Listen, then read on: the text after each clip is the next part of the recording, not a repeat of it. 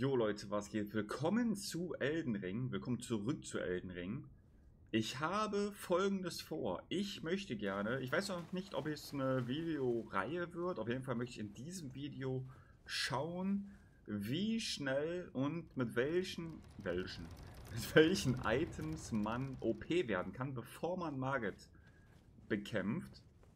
Und ich habe hier mal ein Bild vorgeschlagen, kann ich bei hier oben verlinken, vor ein, zwei Wochen mit dem Flamberge, mit der Blutflammenklinge und dem Talent, wo man mit dem Schwert so einen Strahl nach vorne schlägt.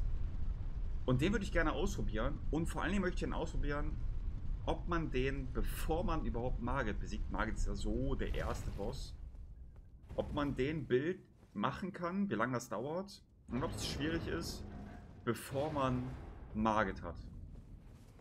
Kommt ja bald demnächst der DLC raus. Wir haben noch nicht wirklich Infos dazu, wann er kommt. Aber so lang kann es eigentlich nicht mehr dauern. Wenn ihr da nichts verpassen wollt, lasst gerne mal ein Follow auf den Kanal da. Ähm, wir holen uns erstmal das Pferd. So, ich werde ja natürlich durchcutten. Ihr müsst euch jetzt hier nicht äh, eine Stunde lang Gameplay angucken. Aber ich werde euch immer ein bisschen erklären, wo wir jetzt als nächstes hinlaufen. Für die Veteranen äh, schon mal kurz als Schnelldurchlauf. Äh, Pferd holen, Flamberge holen, Blutflammenklinge holen, Talent holen, Riesendrache besiegen, leveln, Schmiedesteine holen und dann Margit besiegen. Ich hoffe, dass das Ganze nicht länger als eine Stunde dauert. Also es müsste eigentlich schnell machbar sein. Und äh, ja, sehen wir uns wieder, wenn wir den, das Pferd haben. So, an der Gnade angekommen, wo es das Pferdchen gibt. Ich spiele übrigens die Klasse Mönch die heißt nicht Mönch, die heißt irgendwie anders, auf jeden Fall die, womit ich schon diesen zwei Finger Talisman habe. Äh, damit ich den nicht extra kaufen muss. Und der hat auch eigentlich richtig gute Werte für Blutflammenklinge und Flamberge. Äh, ja, so, jetzt holen wir uns hier links, ganz wichtig, äh, als erstes, machen wir erstmal Flasche. So, so, so. Hier links in äh, den... Ach Mann, es ist alles zu viel. Ähm, hier links in den Kisten, da gibt es eine Kiste, da ist eine ganz wichtige Waffe drin. Äh, die Leute, die meine Speedruns gesehen haben, werden das wissen. Hier ist eine Waffe drin, der... Ich sag's euch sofort. Der Pflegel. Und den Pflegel brauchen wir. Der Pflegel hat nämlich ein cooles Talent und äh, macht Blutungsschaden. Und genau das wollen wir haben. Ich würde sagen, als nächstes sehen wir uns bei Festung Fahrrot. Muss gerade überlegen. Ganz wichtig ist auch hier bei diesem fahrenden Gedöns, hier links hoch und da oben die Gold, den goldenen Federtierfuß zu holen. Damit, wenn ich gleich den Riesendrache besiege, 20% mehr äh, Ruhen bekommen. Nicht vergessen, ganz wichtig. Außerdem würde ich auf jeden Fall auch empfehlen, direkt zu Beginn zur Halbinsel der Tränen zu gehen. Hier gibt es drei Kirchen, heißt drei goldene Saaten. Es gibt einmal Blut, so ein Eis, was man einsetzen kann auf seine Waffe, damit man mehr Blutung macht. Weiß nicht mehr, wie das heißt. So ein Blutklumpen sehen wir gleich. Hier gibt es ein paar Schmiedesteine zum Aufsammeln. Auch sehr wichtig. Und falls ihr den Bild hier bis zum Ende durchspielen wollt, es gibt ganz äh, auf einem kleinen Türmchen gibt es... Ach, was erzähle ich überhaupt? In den Kirchen gibt es keine goldene Saat. In den Kirchen gibt es natürlich die, den Trank, womit man die Flasche verbessert. Boah, ich bin echt lang raus aus Elden Ring. Die äh, plus 3 ist die Flasche dann, so rum war das. Die erste Kirche sehen wir hier rechts direkt. Im wahn wahnsinnigen Dorf. Mann, Mann, Mann. Ich muss echt mal wieder ein bisschen mehr Elden Ring spielen. Ich bin echt, ich freue mich echt, wenn der DLC draußen ist. Damit ich hier mal Täuferkirche von Kalu. Genau, heilige Träne ist es, so. Das meinte ich. Meinte ich doch, heilige Träne, nicht goldene Saat. Nichtsdestotrotz, hier gibt es auch eine goldene Saat, können wir auch mitnehmen. Goldene Saat gibt ja mehr Heilung, also mehr Flasks. Können wir auf jeden Fall auch mitnehmen. Und ich würde sagen, wir sehen uns wieder... Ja, Festung Farod, wie ich eben schon gesagt habe. Ups. Während ich hier auf dem Weg zu Festung Farod bin, können wir mal kurz darüber reden, welche Sachen ich alle nicht einsammle und wieso ich die nicht einsammle. Zum Beispiel das Schildkrötenschwer, äh, Schildkrötenschild oder der Schildkröten-Talisman, der die Ausdauer erhöht. Nehme ich beides nicht. Das Schild ist eine Belastung, die ich nicht haben will. Und den Talisman kann ich nicht tragen bei Margit, weil ich habe nur einen Talisman-Steckplatz. Und dieser Steckplatz ist ganz doll reserviert für Radagons Siegel. Daher kann ich mir den Schildkröten-Talisman äh, nicht holen. Beziehungsweise ich könnte mir holen, aber ich kann halt nicht einsetzen. Und ich will, falls ich in der Art noch mehr Videos mache, immer schauen, was am meisten Sinn macht vor Margit. Also es ist jetzt hier kein Fullbild, äh, mit dem man das ganze Spiel durchspielt, sondern wirklich nur dem Bild vor Margit. Also wie schnell kann man OP werden vor Margit, bevor man überhaupt ähm, irgendwas anderes an ähm, Bossen besiegt. So, bei Festung Farod angekommen. Hier gibt es das Radogon-Siegel, das ist ganz wichtig. Und hier würde ich euch echt empfehlen, rennt einfach durch. Ihr könnt die Gegner mit eurem Level 1 Dude hier nicht besiegen. Ihr seid One-Shot, ihr macht keinen Schaden.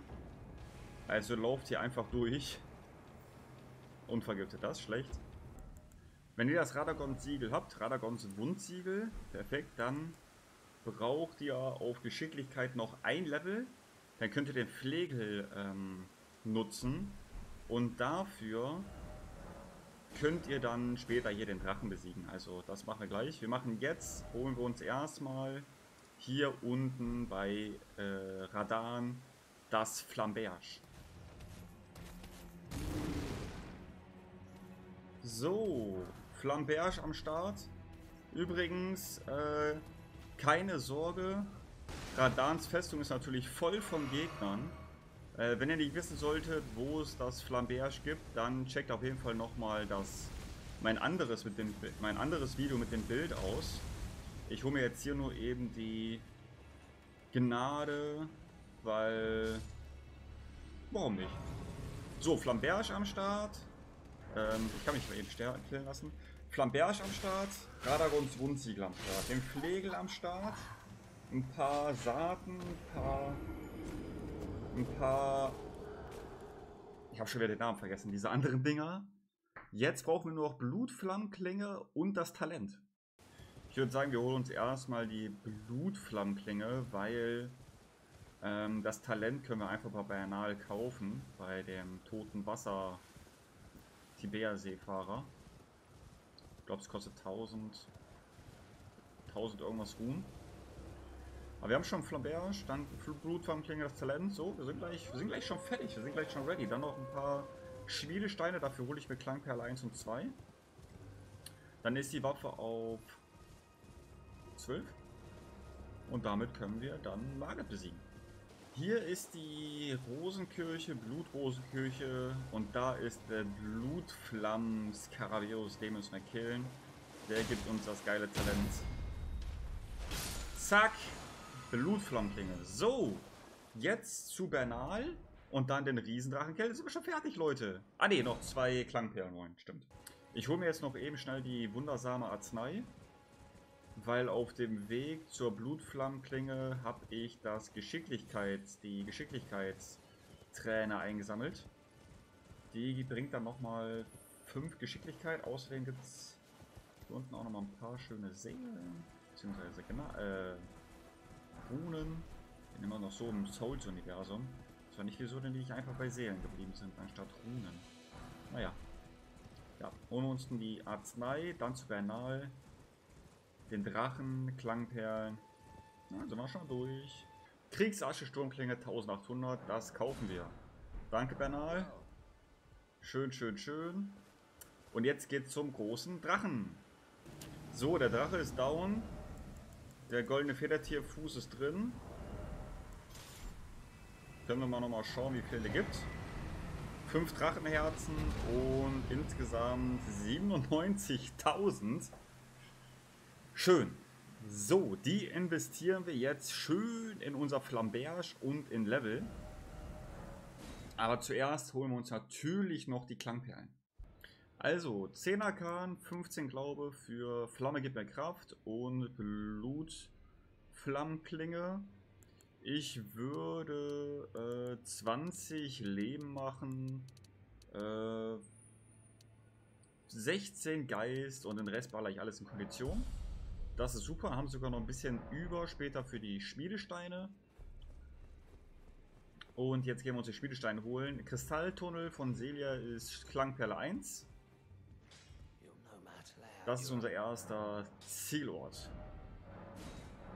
Oh, wir haben sogar fast genug einfach so eingesammelt. Perfekt. Übrigens als Orientierungspunkt für den Kristalltunnel von Celia könnt ihr euch immer hier diese Glockenfestung nehmen, weil genau dahinter ist der Eingang zum Kristalltunnel von Celia. Und ich überlege gerade, ob ich überhaupt die zweite Klangperle holen möchte für Spielestein 3 und 4 weil dafür müssten wir die zweite Hälfte vom Aufzug holen, den Bektos-Medaillon. Ist an sich kein Problem, ist auch kein Problem eben äh, in ähm, den Kristalltunnel von Raya Lucaria zu gehen. Äh, das ist nicht das Problem, sondern es kostet halt viel Zeit und ich will hier schon, ich bin vorbeigelaufen, ich will schon auch darauf achten, dass wir unter eine Stunde bleiben. Und wir sind jetzt bei einer Zeit von 50 Minuten und ich bin schon echt durchgerattert. Ich glaube, ich guck mal wie... Ich glaube, wir machen nur Spielstein 1 und 2, aber behaltet im Hinterkopf, ihr könntet es euch noch einfacher machen, die zweite Hälfte vom Dektos Medaillon holen bei Kenneth Hyde, da war ich auch eben kurz in der Nähe. Und äh, dann einmal in den Kristalltunnel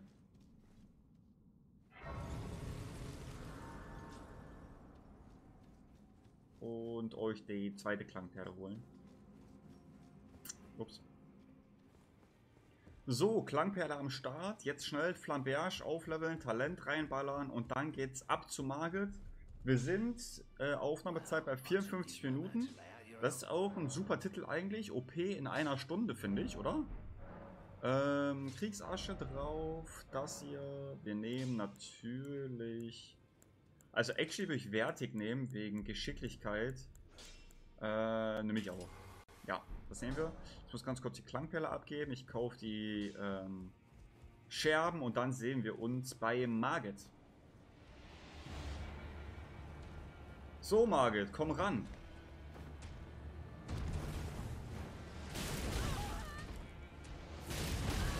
Actually wäre sowas wie eine ähm, bessere Rüstung oder so gut, wo ich mal ein bisschen was aushalte. Da hätte man vielleicht noch äh, Minuten investieren können. Wenn ich so drüber nachdenke.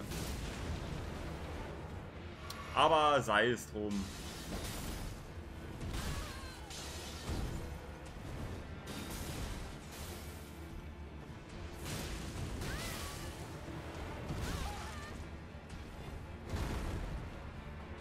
Sei es drum.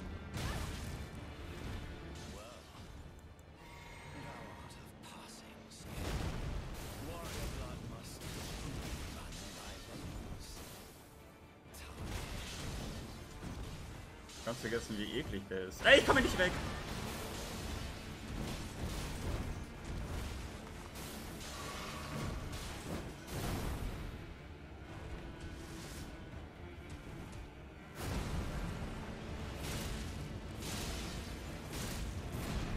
Die Waffe ist so stark mit dem Talent.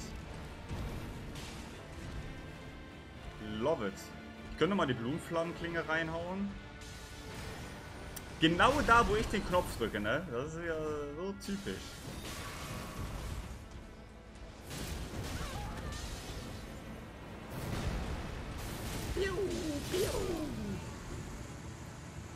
Man braucht schon noch ein bisschen Skill, aber war eigentlich gar nicht so schwer. Flambert ist auf plus 6, ihr könnt ihn noch auf plus 12 machen. Standardbekleidung. Radagons Wundsiegel. Wie fandet ihr das? Würde mich sehr freuen, wenn ihr dem Video ein Like da lasst, ein Follow, falls ihr da mehr von sehen wollt. Und lasst mich unten in den Kommentaren mal sehen, was ihr für Ideen hättet, wie man in unter einer Stunde so OP ist, dass man Margit easy schafft. Ich muss gestehen, ich bin einmal gestorben. Aber das liegt nicht daran, dass der Bild schlecht ist, sondern dass ich schlecht bin in Elden Ring. Beziehungsweise ein bisschen eingerostet bin. Äh, wenn ihr mehr davon sehen wollt, hier äh, verlinke ich euch nochmal den äh, Bild. Und dann würde ich sagen, bis zum nächsten Mal, Leute. Haut rein.